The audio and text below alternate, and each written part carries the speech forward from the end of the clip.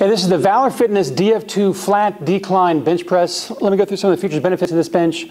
First off, the pad. You have a two and a half inch thick padding, 47 inches long as far as the total length, as far as your body length. Uh, you've got on one end where the head goes, it tapers to a 10 inch width and expands out to a 14 inch width on the end that you're going to sit on. Now you have five different positions you can adjust this. Let's call this position one or zero degrees. You have two, three, four, five, that is. So here's position one. Let's take it up to the uh, fifth position. So popper pin on the back side, pull it out, it locks into place for each position. On the foot side here, you've got a pin right here.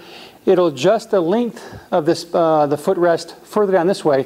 Let's say you're a tall person, long legs, bring this down to accommodate your uh, leg length. Also bring this out to accommodate, I guess, the position you want to do or be in for your decline position.